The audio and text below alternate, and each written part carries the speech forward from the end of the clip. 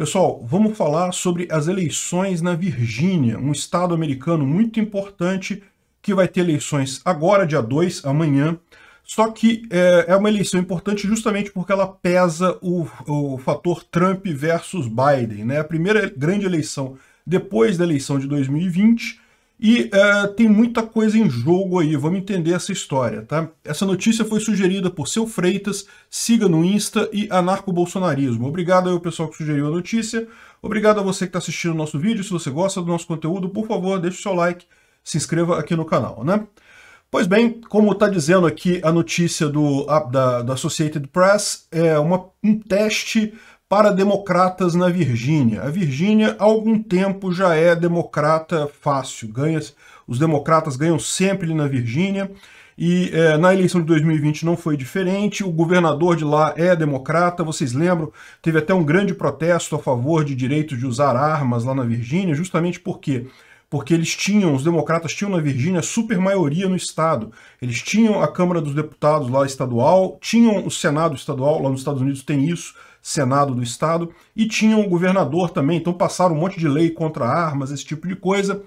Mas enfim, o que está acontecendo agora é que tem eleição agora, e, e o esperado por todo mundo era que o candidato democrata ganhasse com facilidade, só que não é bem isso que está acontecendo. Então, o que está acontecendo lá, como, como, é tradicional nos Estados Unidos, você tem um republicano, que é o Glenn Youngkin, é, lógico, se você pegar aqui todos os jornais é, da mídia tradicional socialista lá americana, estão falando não que é um cara multimilionário que está querendo se apossar da Virgínia e não sei o que lá, falando mal do cara pra caramba, dizendo que ele é tentando associar ele com Trump, porque inclusive esse é o ponto que o cara faz aqui na AP, que ele fala assim, olha só, agora que não tem mais o Trump, os democratas estão tendo dificuldade, porque os democratas eles faziam toda a campanha dele dizendo não, a gente tem que ser contra o Trump, tem que derrubar o Trump, tem que tirar o Trump, não sei o que lá. Agora não tem mais Trump, o Trump acabou, não é presidente de nada, pelo menos por enquanto não tem mais nada do Trump lá nos Estados Unidos. E aí o que está acontecendo? Justamente o, o, a, o discurso democrata anti-Trump perdeu força, né? E aí quando o pessoal começa a olhar para o Biden como alternativa ao Trump, a coisa fica mais feia. Mas o pior não foi isso não, né? Então tem aqui o Glenn Youngkin, que, é, que é uh, uh, o candidato republicano, que os democratas ficam o tempo todo tentando associar ele com Trump e coisa e tal. E tem o McAuliffe, que é o democrata, uh, candidato democrata. Ele já foi governador da Virgínia, antes desse governador atual, que também é democrata, ele foi governador antes dele. Então ele é um cara conhecido, ele estava ganhando fácil. No início da corrida, da corrida do Estado, ele estava ganhando, assim, lá na frente o, o, as pesquisas para ele, ele ganhando muito fácil o governo da Virgínia, não tinha nem chance para os republicanos, só que a coisa começou a mudar, é, começou a ter uma queda na, na, na aprovação dele e um aumento do, da aprovação do republicano, a ponto que, se você olhar aqui como é que está a pesquisa, hoje em dia o, o republicano está na frente, mas está dentro da margem de erro, tá? Tudo pode acontecer, no final das contas, 48,6 e 46,4 está dentro da margem de erro. Mas tem em mente que é, essa coisa começou com o Macauliffe, que é o, o, o, democrata lá em cima, 50 e tantos por cento, e o republicano com 20 e poucos por cento. E a coisa foi... E, e dizem que o grande, o grande problema, o grande divisor de águas, o que mudou a maior parte dos votos, sabe o que foi? Foi a questão de teoria crítica racial nas escolas. Houve um debate em determinado dia que o republicano falou que achava um absurdo isso e que apoiava os pais de aluno que estão contestando esse tipo de teoria nas escolas americanas, que estão brigando contra isso.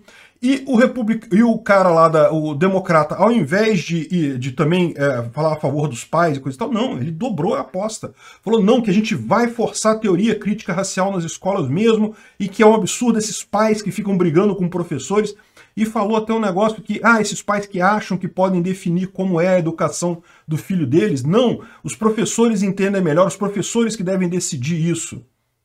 Isso não pegou bem para ele, meu amigo, para você ver como é que essa, como é que os democratas, primeiro, estão iludidos na visão deles de que todo mundo concorda com as pautas absurdas deles, e segundo, é, achando que o cara, o cara fez isso com uma, botou isso, falou isso no debate, cara. Logo depois disso, começou a cair a diferença de, de votos entre eles e o republicano agora está na frente. É verdade que está na frente por uma margem muito pequena, então assim, não tem nada certo ainda, é, tudo pode mudar, não se sabe quem é que vai ganhar essa eleição, mas uma eleição que estava ganha para o democrata, um estado que já é democrata há muito tempo, o cara foi defender a lacração e agora está correndo o risco de perder essa eleição. Né? E lógico, é, o que, que aconteceu nessa história toda? O pessoal ficou desesperado. Ficou desesperado, começou a partir para quê? Para jogar a, a carta do racismo, supremacismo branco, não sei o que lá, não sei o que que. Olha só o que, que eles fizeram. O, esse grupo de pessoas aqui que são é, do Lincoln Project. O Lincoln Project é um projeto que os democratas dizem que é republicano, que, que, surgiu com políticos republicanos, mas a verdade é que é totalmente tomado por democratas. Tá? Quem tem lá no Lincoln Project, Lincoln Project essa parte aqui, né? Vocês sabem, o Lincoln era um republicano, os democratas eram a favor da escravidão na época, né? o Lincoln era um republicano, era contra a escravidão e coisa e tal, tem toda essa história. E uh, o Lincoln Project, porém, ele surgiu nos republicanos, não tenha dúvida, só que de um tempo para cá já foi tomado por liberais. E olha só, hoje em dia a missão dele, nossa missão, a briga contra o trumpismo está apenas começando. Então, ou seja, virou, é totalmente democrata no final das contas. Né? Eles gostam de dizer que são é, é, republicanos, mas na verdade não são.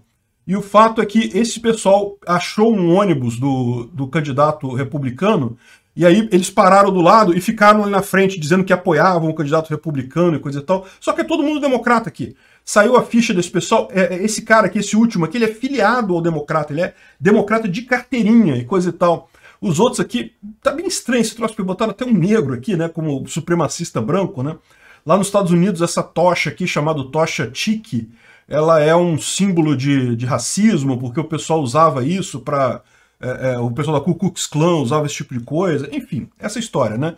Ou seja, estão fazendo, estão desesperados, fazendo tudo para tentar colar o, o, a, a, carta de, de racismo no cara lá da, do, do republicano, porque porque o, o, candidato dele está fazendo água, e principalmente por causa de teoria crítica racial nas escolas. Né? Eu expliquei o que é teoria crítica racial num vídeo lá no Visão Libertária, é, dá uma procurada lá, é, é na verdade o, nome do livro do vídeo é Teoria Crítica, porque a teoria crítica em si, ela aplica-se não só à raça, mas também a gênero, a um monte de, de, é, de, de questões sociais, né? E é tipicamente um movimento marxista cujo objetivo é destruir a, a, o tecido social, né? destruir as hierarquias sociais que surgem naturalmente é, em qualquer sociedade humana. Então, se tiver curiosidade sobre o que é teoria crítica racial, dá uma olhada lá no, no meu vídeo, lá no Visão Libertária. Vou ver se eu acho se eu coloco o link dele aqui na, na, nesse vídeo. Mas o fato é isso, né? Lá nos Estados Unidos tem uma briga muito grande porque os professores querem ensinar teoria crítica nas escolas, é, tipicamente isso é marxista, né? Isso é marxismo, e os pais de alunos não querem isso. Então, ultimamente, nos últimos dias, aí teve várias brigas de pais que foram em reuniões de pais e professores, onde teoricamente era justamente para discutir esse tipo de coisa, a ponto de que o governo Biden está dizendo que pais que querem se intrometer na educação dos filhos como assim, pô? O pai tem que ter o direito de decidir como o filho vai ser educado? É evidente que sim. E aí eles costumam colocar, não, porque aí botam o pai como uma pessoa ignorante, que não sei o que lá, que não pode, que tem que ser o Estado que tem que decidir. Olha o absurdo onde esse pessoal está chegando, né? Não é à toa que tanto lá nos Estados Unidos quanto aqui no Brasil o homeschooling vem ganhando tanta força. É um absurdo essa visão de que o Estado sabe educar melhor do que o pai. Eu não estou dizendo que pais sejam super ótimos em educação, não. Tem muito pai que realmente não tem muita, muita inteligência. Mas achar que o Estado é melhor é um erro, porque o Estado ele é maquiavélico, ele é mau. Ele quer captar as pessoas para se tornarem escravos do Estado.